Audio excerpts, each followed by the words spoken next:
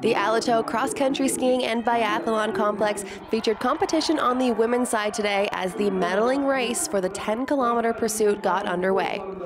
Here's the list now of the first 10 athletes and their starting times. Kazakhstan's Galina Vishnevskaya, she would get off first. You can see her now making her way through the course. Again, this is one of those events that you aren't necessarily racing the person next to you, but going for the best time.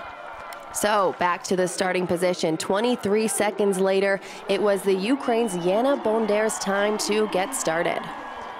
Let's check up again on Galina Vishnevskaya of Kazakhstan as she approaches her first shooting target.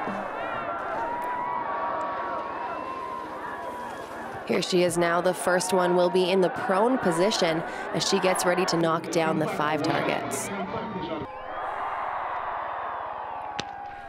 Vishnevskaya goes five for five, no penalties. Beside her is Yana Bondar.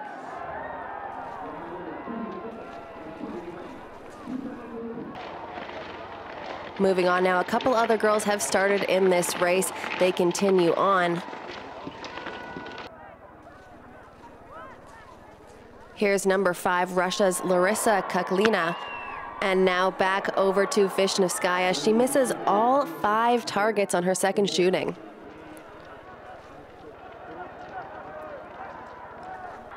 Let's look at some other shooting now between some of the Ukraine athletes and the Kazakhstan athletes. Here's the Ukraine's Nadia Bielkina. She won the bronze in the 15 kilometer pursuit on January 31st, and she would look to continue bring home some more medals. Here she is, Bielkina, 18 minutes into the race. Really fighting her fatigue here as she battles to get up this hill. Just under eight and a half now minutes into it. She approaches her third shooting.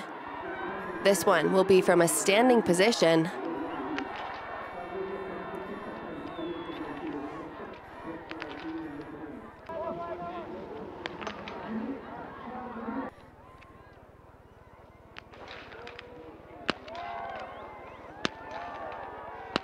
Bielkina only getting three of the five here. She misses two of them just under 20 minutes now into the race.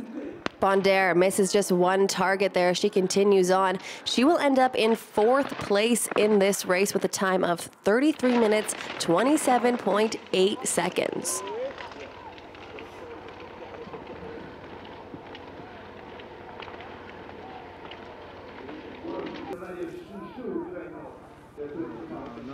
Here she is coming down a hill. You can tell that she is one of the top contenders in this one as she goes real fast. But for now, let's catch back up with the Ukraine's Nadia Bielkina. Here's her fourth shooting. She will get all but one as she continues on.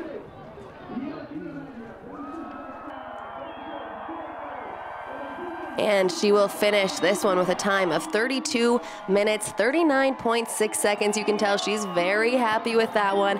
She will finish almost 40 seconds before the silver medalist. That athlete now coming down, that's Russia's Olga Shesterikova. She finishes 33 minutes flat, 33.007. That's good for the silver medal. Last but not least in these medal tables is Russia's Larisa Kuklina. She gets the bronze.